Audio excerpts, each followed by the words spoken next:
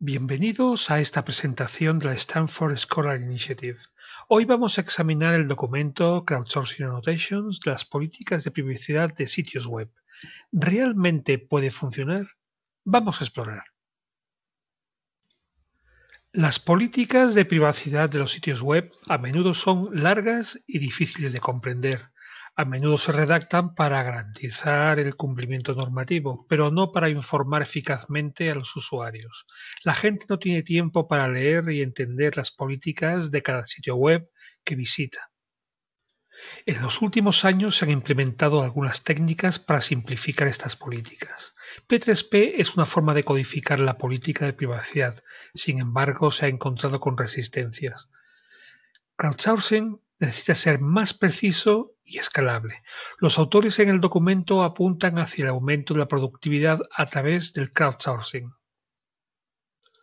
La legibilidad de las políticas de privacidad se evaluó en diferentes contextos y dominios como avisos de salud, redes sociales, etc. Las comunidades TOS y DR analizan y califican las políticas para su respeto a la privacidad del usuario, su enfoque es flexible y orgánico, pero es difícil de escalar. El método de Simek y Bellowin obtiene respuestas a través de un enfoque basado en el proceso de lenguajes naturales que da como resultado una exactitud variable. El crowdsourcing ha dado lugar a una menor exactitud debido a la ambigüedad intencional en la redacción de las políticas. Los autores han diseñado una interfaz eficiente para facilitar la legibilidad de la política y la grabación de la respuesta. Incorporan preguntas objetivas y destacan párrafos relevantes para cada pregunta. Echemos un vistazo a este enfoque con más detalle. Entre los grupos de estudio existía una condición de control no high y dos condiciones de tratamiento top 5 y top 10. No High consistía en las respuestas de los crowdworkers a las preguntas de las políticas en la tarea original. Top 5 y Top 10 además destacaron en el Top 5 y Top 10 de los párrafos relevantes para cada pregunta.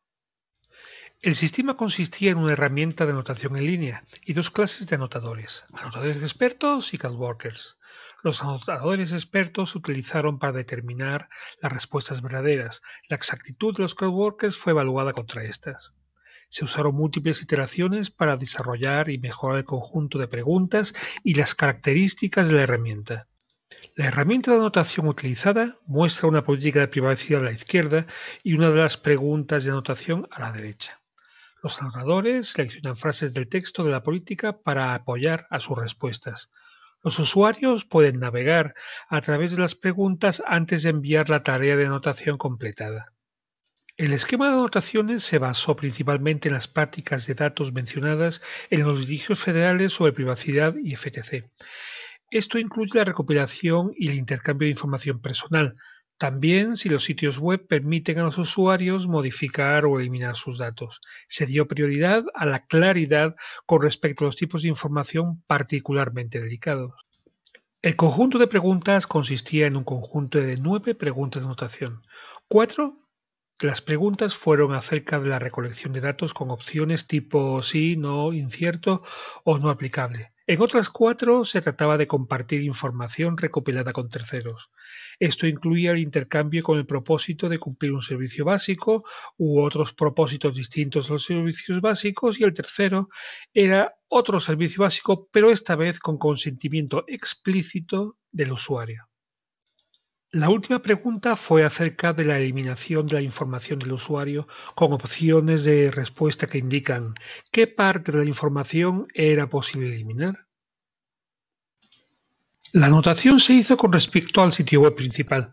Se ignoraron las declaraciones que se aplicaban a un público limitado y las relativas a la retención legal. A los anotadores les permitió indicar cuándo una política era vaga o silenciosa con respecto a prácticas de datos específicos.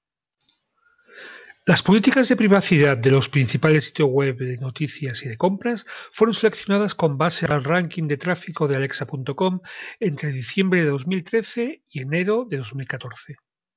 Se nombró a un grupo de 218 anotadores expertos y crowdworkers para el estudio. Los crowdworkers tenían menos formación que los anotadores expertos y se les pagó 6 dólares por política de privacidad anotada. Cada política fue anotada por 10 crowdworkers con un tiempo promedio de 31 minutos.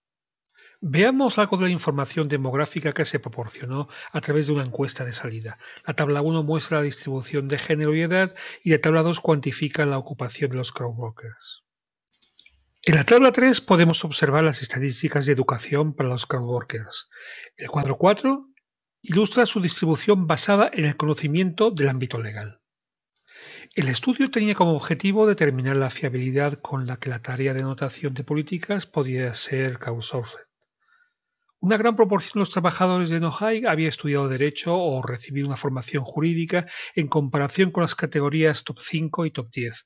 Esta figura ilustra que los párrafos destacados apoyaron la capacidad de los participantes para entender los textos legales presentados. Aquí podemos ver los distintos niveles de comprensión de los textos que habían sido asignados a los trabajadores. Se observó que los participantes del grupo de control calificaron su habilidad sustancialmente más baja después de completar la tarea de anotación. Se consideró que una respuesta se clasificaba para juzgar si cumplía el umbral del 80%. La exactitud de la anotación es similar en todas las condiciones, esto sugiere que destacar párrafos relevantes no afecta la exactitud de la anotación. La figura muestra el porcentaje de porciones que se consideraron fuera de la resaltada para responder a una pregunta. En comparación con top 10, en la parte general considerada fuera de la zona resaltada fue más para top 5. Eso también muestra que los anotadores consiguen algún texto fuera de lo que se destaca. El tiempo de propagación para la finalización de la tarea es mayor en la condición de control, con un tiempo mínimo recorrido que es casi similar. El aumento de cinco párrafos reduce significativamente el tiempo, ya que reduce el espacio de búsqueda. Como puede verse en la figura, la utilidad percibida estaba sesgada hacia el lado positivo, indicar que la parte destacada de hecho ayudó.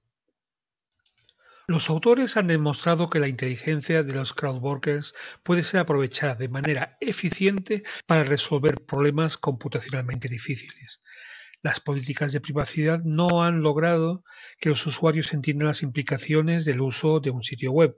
Esto podría hacerse de forma más económica creando un equilibrio entre el nivel de habilidad de los crowdworkers y el número mínimo de anotaciones.